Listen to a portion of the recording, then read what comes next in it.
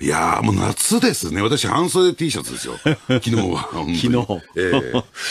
まあ、そういうことで、え、えー、日本はね、えー、実に快適だったんですけども、韓国の大統領選挙が始まりましたね。はい。はい、で、一番最近の韓国ギャラップの支持率調査では、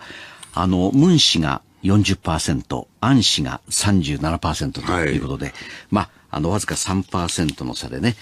えー、それで、えー、この分析をすると、はい、えー、須田さん曰く、北風ではなく、美しい国、美国からの南風が吹き荒れるクエスチョンマークと。まあ、何言ってるのかさっぱりわからないでしょうけどね。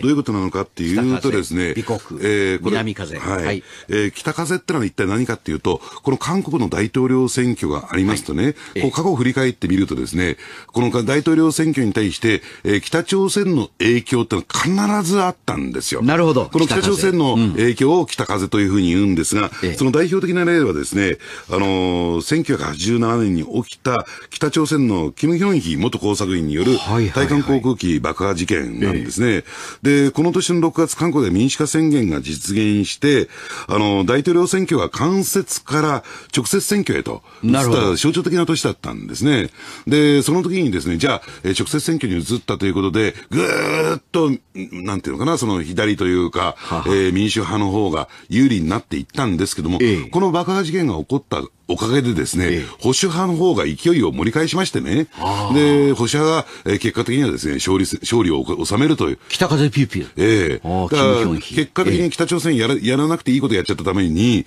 えー、韓国を、その、まあ、保守派の勝利を収めることになったというのが北風なんですね。で、というようにですね、うん、大統領選挙になるたんびに良くも悪くもその北風が吹いてくるというのが、その特徴だったんですが、今年ちょっと様変わりしましてね。はい。あのー、美しい風が吹いていると、もしくは南風が吹いていると言われてるんです。じゃあ美しい風って何かというと、うん、日本ではアメリカとのことを米の国、米国と表記するじゃないですか。えええ、で、韓国では美国、美しい国、なんで美国なのかよくわかりませんけどね。アメリカのことええははえー、表記するんですよ。そのアメリカをとって、えー、美しい風というふうに言ってるんですが、じゃあ具体的に何を指しているのかというと、それはアメリカのね、えー、まあ、カール・リンソンがですね、えー、北朝鮮というか朝鮮半島海域に、えー、戻ってきたじゃないですか。はい、で、猛烈なプレッシャーを北朝鮮にかけてますよね。うん、で、まあ、こうやって北朝鮮との軍事的対立といったらいいんですか、えー、軍事的なですね、リスクを煽り立てることによって、うん、当初、ムン・ジェイン候補というのは、これは新北派と言われてましたよね。そうですね。で、ムンホ候補がこれ当選してしまうと、えー、要するに北朝鮮との、えー、関係に近、ぐーっと近寄ってきていて、行って、韓国がね、これは相当なリスクになるんじゃないか、はい、ということを恐れた、要するに韓国国民が今どういう行動に打ってるのかというと、アン・チョルス、最初はね、もう相手にならなかったんですよ。ムン・ジェイン氏に対してね。これはぐーっとさっき高島さん言われたように、韓国ギャラップ調査の結果によると、もう接戦を演じるという状況になったのは、これは美しい風の影響だと言われてるわけなんですね。今、北の風、南の風、どっちが強いかっつったら南の風の方が強いということですか、はい、ええ、あ